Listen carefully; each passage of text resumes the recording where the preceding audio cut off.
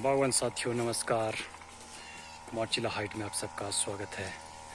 Title देख के आपको पता चल ही गया होगा कि आज किस बारे में बात होने वाली है।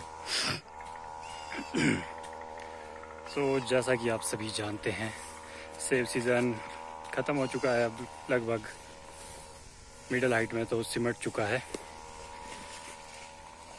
इस बार का सीज़न काफ़ी उतार चढ़ाव भरा रहा। कहीं रेट अच्छे मिले हैं, कहीं रेट अच्छे नहीं मिले हैं, क्योंकि क्वालिटी के हिसाब से ही रेट मिले हैं, क्योंकि पतझड़ की जो समस्या थी वो हर जगह एक आम समस्या थी, क्योंकि इस बार का जो मौसम है वो प्रतिकूल था बिल्कुल। लगातार बारिश हो रही थी और बहुत सारी जो फंगस है, उन्होंने बगीचों में हमला बोल दिया था, जिसके कारण पत्ते जल्दी झड़ गए थे। और जो कि फ्रूट की क्वालिटी बननी चाहिए थी, वो नहीं बन पाई। तो ऐसे में अब जो भी हुआ सीज़न में, वो तो अब हो गया है। अब हम बात करेंगे पोस्ट हार्वेस्ट मैनेजमेंट के बारे में, कि आने वाले सीज़न की तैयारी कैसे की जाए, क्योंकि साल दर साल देखा जा रहा है, जो क्वालिटी है फ्रूट की, वो भी घट रही है और उत्पादन भी घटता जा रहा है लगातार। तो ये एक चिंता का विषय है। तो इसी बारे में। तो इसी बारे में आज बात करेंगे कि किस तरीके से हमें काम करने की ज़रूरत है, कि इन समस्याओं से निजात पा सके, क्योंकि पतझड़ एक ऐसी समस्या थी जो हर जगह देखी गई। एक तो बारिश का मौसम था लगातार, बारिश हो रही थी, दूसरा स्प्रे का मौका नहीं मिल पाया, स्प्रे करने में चूक हो गई।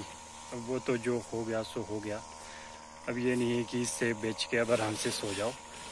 अब हमें अपने बगीचों में फिर से जाने की ज़रूरत है और अगले सीज़न की तैयारियों में जुट जाना चाहिए। तो इसमें हम बेसिक चीज़ें करेंगे कि जिससे अगले साल अच्छा फ्रूट बर्ड तैयार हो फ्लावरिंग अच्छे से हो, क्योंकि बहुत सी कंपनियाँ मार्केट में ऐसा दावा करती है कि उनके पास बर्ड बिल्डर है। तो इन सब चीज़ों के चक्कर में ना पड़े, क्योंकि PGR का रिज़ल्ट आपने देख लिया है। किसी काम का नहीं है। तो इसी तरह से बर्ड बिल्डर है, कुछ और प्रोडक्ट्स है तो इनको यूज़ ना करते हुए आप नेचुरल जो करते आ रहे हैं ट्रेडिशनल तरीके से जो चल रहा है, उसी को फॉलो करें। तो इस समय हमें किस चीज़ की ज़रूरत है, हमें कौन सी स्प्रे करने की ज़रूरत है तो उसी बारे में हम बात करेंगे।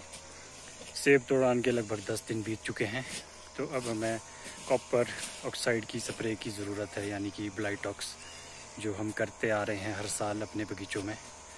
उससे होगा क्या? जैसे कोई बर्ड ब्रेक हो गया है, या जहाँ से हमने फ्रूट निकाला है, वहाँ पे जो घाव बन जाते हैं, उसमें ये फंगस अटैक कर देती है, जिससे कि बीमे डैमेज हो जाते हैं। तो यहाँ पे एक ये लेयर, प्रोटेक्टिव लेयर तैयार करेगा, जिससे कि हमारे बर्ड डैमेज नहीं होंगे। तो इसी के साथ अब हमें न्यूट्रिशन की भी ज़रूरत है हमारे प्लांट को। तो किस तरीके का न्यूट्रिशन चाहिए प्लांट को, वो भी समझने की ज़रूरत है। उसके लिए पहले सॉइल टेस्टिंग की ज़रूरत है। उसके बाद ही किसी तरीके का केमिकल यूज़ करें अपने बगीचों में। तो आगे हम बात करेंगे, इस बार एक अलग तरह की बीमारी देखी गई फ्रूट में।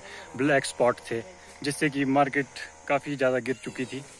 रेट में उससे बहुत फ़र्क पड़ा, क्योंकि उससे सेब सड़ने की समस्या देखने को मिल रही थी।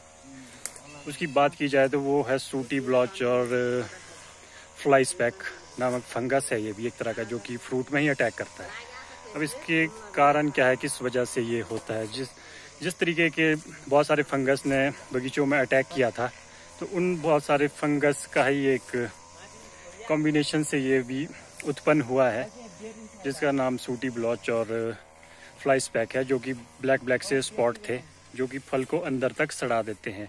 और छोटे छोटे से धब्बे भी देखे होंगे आपने। अनेक देख सकते हैं आप। तो ये स्प्रे शुरू कर दी हमने। ये दो देख पा रहे हैं आप। तो आगे मैं आपको दिखाता हूँ क्या क्या स्प्रे करने वाले हैं। ये है जी copper oxide 50 W P containing 50 W P copper content और वुलिया फिड की समस्या है उसके लिए क्लोरोफाइफोर्स डरमेट 400 सौ प्रति 200 लीटर पानी में। इसका छिड़काव करेंगे। इसके साथ ही हम यूज़ करने वाले हैं दो से ढाई किलो यूरिया जो कि हमारे प्लांट को नाइट्रोजन देगा। क्योंकि अभी पत्ते तो आप देख पा रहे हैं काफ़ी अच्छे हैं। आज अगर बात की जाए आज है 25 सितंबर तो कुछ इस तरह की कंडीशन है बगीचे में। तो अभी ये सही समय है, कोई भी न्यूट्रिशन देना है आपको। क्योंकि अब पत्ते झड़ जाएँगे, उसके बाद सैप जो होता है वो रिवर्स हो जाएगा और तनों में स्टोर हो जाएगा। जब नेक्स्ट ईयर फ्लावरिंग स्टार्ट होगी, तब भी ये काम करेगा हमारे लिए। एनर्जी के तौर पर ये काम करेगा। तो इसलिए अभी न्यूट्रिशन देने की हमें बहुत ज़रूरत है अपने प्लांट को। तो बेसिक चीज़ों पर ही हमें ज़्यादा फोकस करना है। मार्केट में जो उठ पटांग प्रोडक्ट है, उनसे बचना है।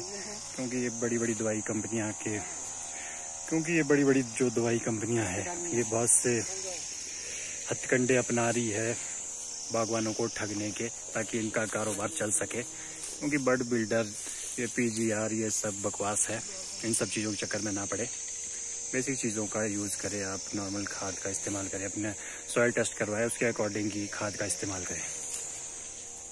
तो मैं तो जो अपने बगीचे में करता हूँ, वही मैं बताता हूँ, और जो करता आ रहा हूँ तो अगर आपको भी ये जानकारी यूज़फुल लगती है तो बने रहिए मोर्चिला हाइट के साथ, और ज़्यादा से ज़्यादा लोगों को शेयर कीजिएगा।